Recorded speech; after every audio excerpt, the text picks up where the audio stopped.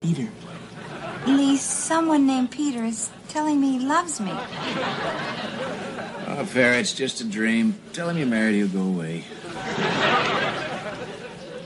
It's not a dream, Lee. I think you better wake up.